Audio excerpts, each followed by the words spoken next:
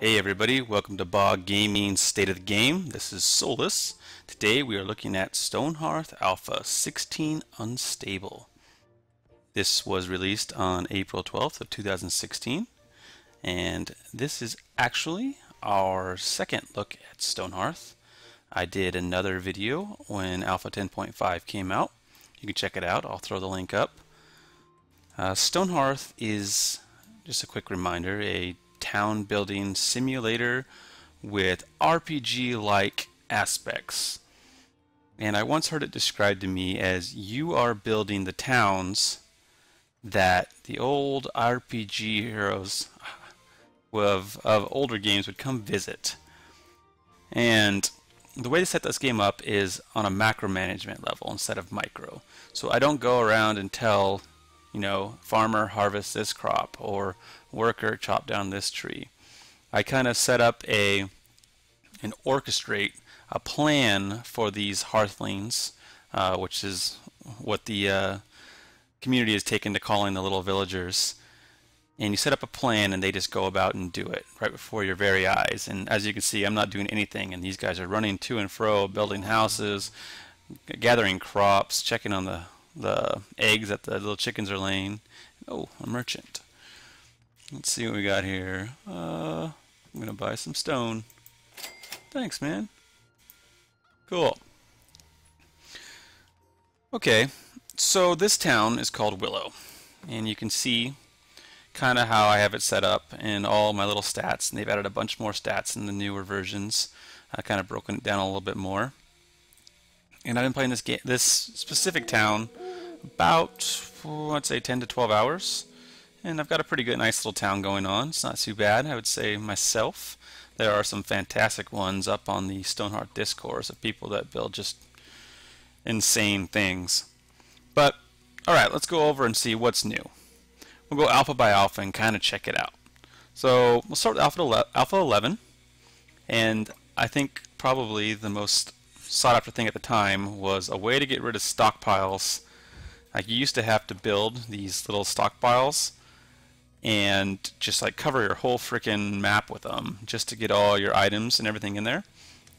So Radiant Entertainment, the creators of Stonehearth, decided, hey, we're going to make these crates so you can put items in there and clean up your town and look so much nicer. So we can kind of take a look inside and see what's in here. Apparently there's an omelet just sitting in this crate along with an entire chair.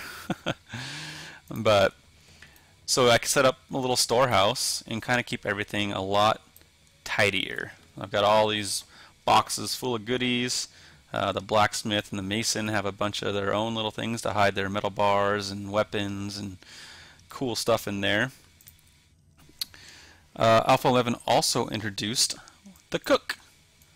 So what the cook does is I can kind of show you a little workshop inside my little tavern here is the cook takes raw foods and creates stews and breads and roast meat and pot pies and kind of uh oh what do we got here? Oh my gosh giant tree people. Uh, we'll get a little sneak peek into, into the new combat here.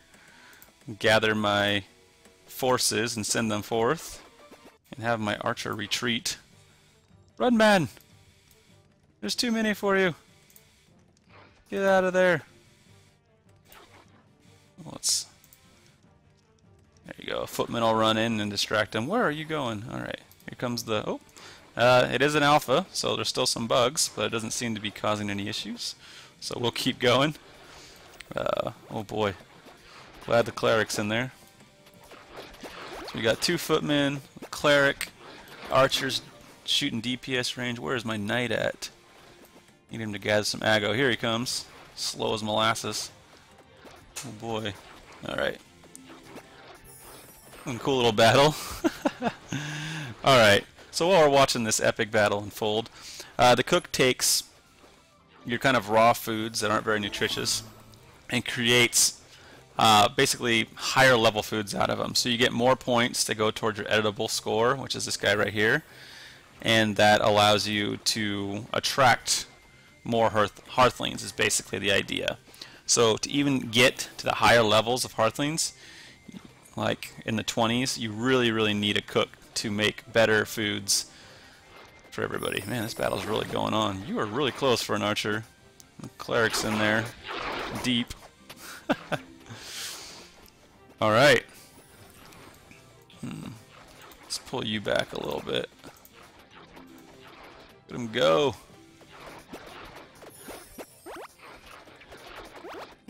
We go. They almost got one of them. Go, Archer. All right. So Alpha 12. We'll just kind of keep them in view as we back away. Added new workbenches. So it looks like they got that in hand. Oh yeah, and leveling up, nice. So it used to be that each um, profession that was a crafter could only create like one little workbench. So they had the normal workbenches and they could just build off anything they want after that. In Alpha 12, they added the need for a second workbench to make more complex crafts or different crafts. You actually need to build multiple stuff, and you'll see them run from each one the ones they need. So, like the blacksmith will actually smelt the ore here into ingots, and use those ingots over here to build weapons and armor and whatever. Let's see what happened. Knight got to level 2. Ooh, got an aggro shout. That's cool. Uh, Archer has more damage. That's cool. I'll take that. Cleric has more healing aura. Take that too. Right on. Okay. Nice work, fellas. Oh, better loot all this stuff on the ground. Take all my loot. Oop, I missed. Maybe. There we go. Grab it all. Have my workers come get it. Good job, buddies. You guys did good. Did good. Alright, so Alpha 12 also added uh, kind of better world generation, and the shepherd can now, oops, they're hungry, uh, can get more than just sheep. You can get these little guys called pollos. Uh, I still think they should be called buck bucks, their previous name, but fine, we'll go with pollos for now. And, oh, the cleric's giving a buff, that's funny. And you can also get rabbits. So each one produces a different resource that you can use for food or for like sheep you can use for crafting for the weaver to make stuff. All right. And oh, and Alpha 12 also introduced the ability to plant your own trees when you want to. I'm not needing to do that now. I've got plenty, but you can do it. It's pretty cool. All right, daily update. Oh, I do not have enough food. The recent patch, I think Alpha 16, seems to have reduced the uh, quality of food uh, as a as a whole. So you need more to get more hearthlings. So I'm working towards it. We'll get there. These guys are almost done with this house. I was working on. All right, Alpha 13, jumping on. They added a whole new faction called Rayya's Children. They are kind of a desert-dwelling, uh, wily merchants that have a completely different playstyle. So the Ascendancy, which is these guys in the green, start really like seem to be the easiest group to start with. They focus on wood and stone, while Rayya's Children, you have to dig into the dirt and use clay and use a new class called the Potter to build all their stuff. There's a very specific feel, as you can see, looking at all clay bed, simple clay chair. I, for me, they're a lot harder, but I'm just kind of used to the ascendancy. But the desert biome is pretty cool, and we'll check that out later. All right, uh, they also introduced the Hearthling Therapist, so you can kind of see what everybody's doing now and tell them what they can and can't do. Like, don't do your job, just haul, or hey, you shouldn't be building. I want you to work solely on crafting, uh, or you shouldn't be mining. You could suspend entire rows if you want to. It's also introduced the ability to just click through people and zoom to them and see their stats at a glance. Like this footman's just got baller stats all over the place. Um, all right, let's move on to Alpha 14. The first combat update since forever ago was adding different monsters and the party mechanic, which you saw earlier, which each time you add someone to a combat class, they jump into these parties, parties automatically. And you can kind of take a look here and see who's all in a party. And you can use these controls to move and attack and tell them to defend an area or cancel it. Uh, it's made it a lot easier to kind of get groups together and tell them where to go. So like I can send everybody over here and they'll gather up around this banner. Uh, it also introduced the herbalist. I don't have an herbalist right now because I promoted my last one to a cleric. So you have to have an herbalist to get a cleric. And once it reaches, so once an herbalist reaches level 2, I believe, they start at level 0. You can become a cleric, and then you can start using magic. But the herbalist builds like potions and bandages, and uh, the, obviously the cleric tomb to heal people when they get hurt. They can run back and take a nap. All right, so yeah, there they are. we'll cancel that order. You guys can go back to patrolling. All right. Alpha 15 was all about performance, and it shows. Uh, I used to barely be able to get 16 Hearthlings on on a game without it starting to really sputter, and I had to turn down the graphics. Now I'm up to 24, and you can go as high as 50.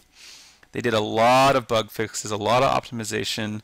Uh, buildings can get built a lot more exotic now. Like I used to, no way I could have built this in the earlier alphas. It would have just died on me trying to build this cool little ledge here. Or at least I think it's cool. Uh, and the ziggurat would have exploded, I think, just completely crashed the game. But it turned out all right. They're still building windows for it, but it's coming along. And if you take a peek inside, there's a little shrine to the three bunny gods. Um, they did have to add it. What's an inventory cap to kind of help people from hoarding. So the bigger your town is, the more inventory you can get. Some people didn't like it, but it hasn't affected me so far. You can kind of see uh, in your inventory screen how much you have, but I'm not even anywhere near the cap, and I feel like I have a ton of items. All right, and to help combat people from hoarding as well, they added these little merchant stalls.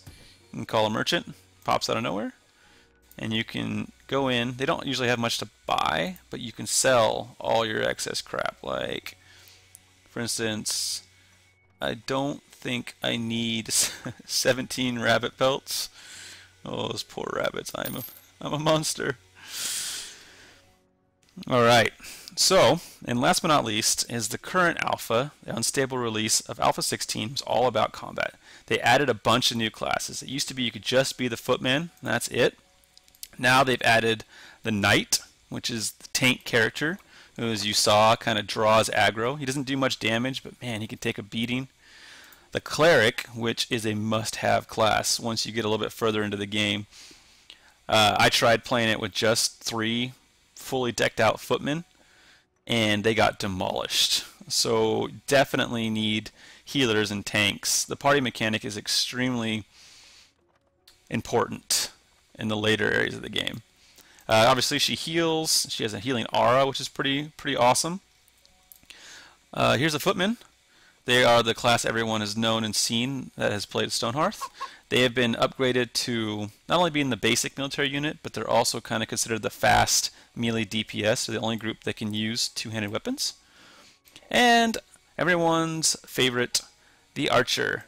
This little guy has been a highly requested feature in the Stonehearth community for a long time. And here he is. Oh man, you just ran right through him. That was really rude. So he kind of hangs back, does DPS. He knows to hang back from combat a little bit, which is kind of smart. And he does a ton of damage. You can also add special arrows to him, like he's using spiky arrows right now, which slows enemies. And you can kind of toggle through the arrows he has or his regular arrows. And honestly, it's been pretty cool to see the dynamic that they've created in this game. They've added also a ton new monsters that are a lot harder. So if you aren't using the party mechanic, you will get messed up. And it's kind of been nice to see. But seeing the party mechanic and just seeing the difference and how well you do in combat when you use the variety of classes uh, kind of adds a cool reason to make sure you get everyone, every type of class. All right, so let's uh, go through my little gate here, which is looking pretty cool, and go take out this crypt. Necromancer Crypt, also a new addition. So let's go for it. So you can kind of see the party controls. It shows them all selected, running into combat. The footmen at a certain level get a speed buff. So they're kind of always the first into combat, which is sometimes terrifying because they're not the most oh, autosave most uh, highly armored, even with the iron armor. Uh, five. You make me five bird bass, I'll be back to give you one giant bone mace. Uh, yeah, that's actually not too bad. I don't know why you need five bird bass, but hey man, whatever floats your boat, take it. So you'll see these guys run in, and as soon as they hit that crypt, the necromancer and his lackey comes out. And he's got a cool little scythe there. Let's take a look at this. Little battle. Should be well in hand here. What are you doing, Archer? You're supposed to hang back. Cleric. She just never made it, I guess? Uh, yeah, this guy's got it. I don't need to be there, I guess. Alright. and boom, done. Alright. An example of controlling the parties. I mean, you saw one earlier, a little more epic of a battle, but I'd figure how to show you how you could go out and do it on your own. Ooh, they got loot. Gold!